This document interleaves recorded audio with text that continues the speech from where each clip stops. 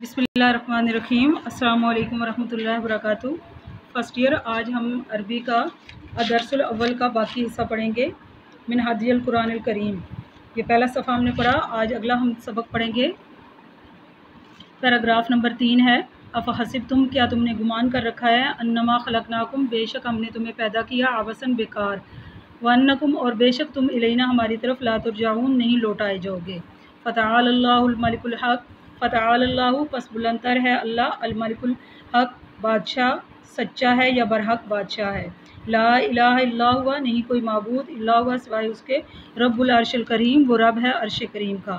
वमैदू और जो शख्स पुकारेगा हम अल्लाह ही अल्लाह के साथ, इलान आखरा, किसी किसी दूसरे मबूद को, ला बुरहान लहू भी तो उसके लिए उसकी कोई दलील नहीं होगी।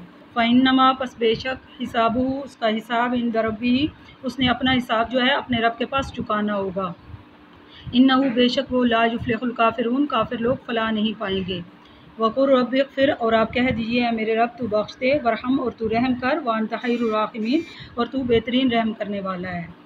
कुलमर रबावाती आप कह दीजिए, कौन है रब आसमानों का और ज़मीन का? कुल्ला आप कह दीजिए, अल्लाह ही है। कुल अफ़तः अब कह दीजिए, क्या तुमने बना लिए मिंदूनी? इसके अलावा ओलिया कारसाज या मददगार?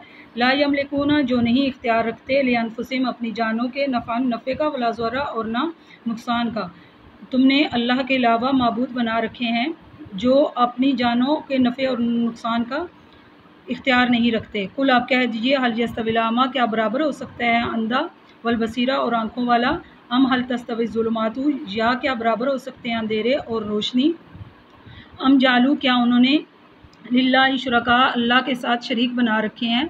खलकू और उन शरीकों ने कखल की और उन शरीकों ने अल्लाह के पैदा करने की तरह पैदा किया। फ़तशाबाल खलकू फिर मुतशाबे होगी मखलूक अलहिम उन पर। कुल्लाहू आप कह दीजिए, अल्लाह खालिकू पैदा करने वाला है कुल्ल शहीन हर चीज़ को। वहूलवाहिदुल्कहार और वो अकेला ज़बरदस्त है। बेटा, इस तर्जमे को अच्छी तरह आपने याद करना